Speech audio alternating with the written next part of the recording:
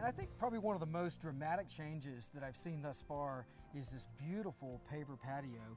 And I want you to take us back to the beginning. Tell me what I would need to know to install one of these at my own home.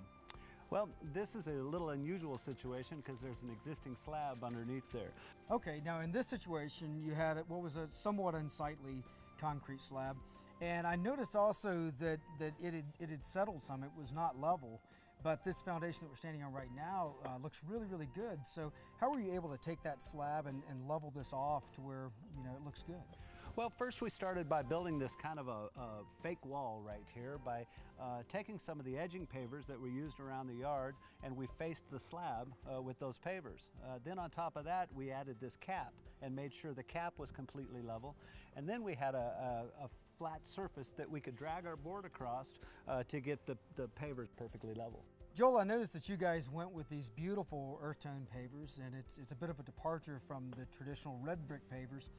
What influenced your decision here? Well, we like these Oldcastle pavers because they've got kind of a natural stone look.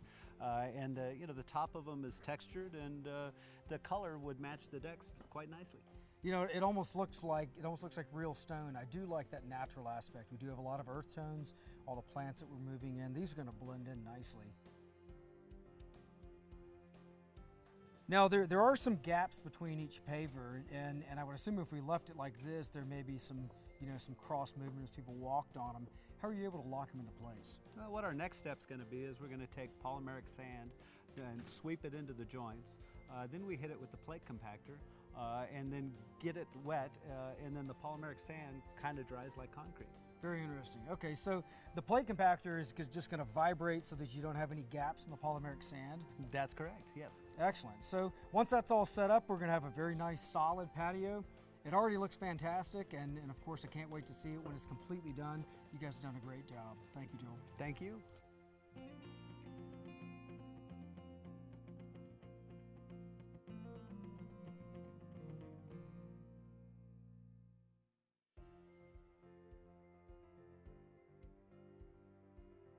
The existing mulch material they had on this site were these, these rocks or pebbles, and I know you're wanting to move to a wood mulch. Right. What's your reasoning behind that? Right.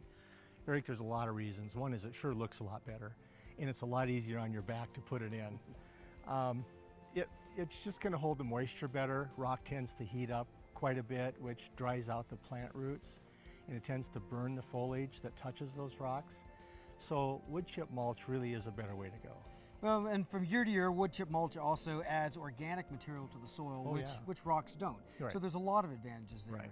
I do want to comment also on this beautiful edging. What we had here before was, was steel edging, and you've moved to this really nice concrete Right. edging. The owners, Jeff and Jeannie, have dogs.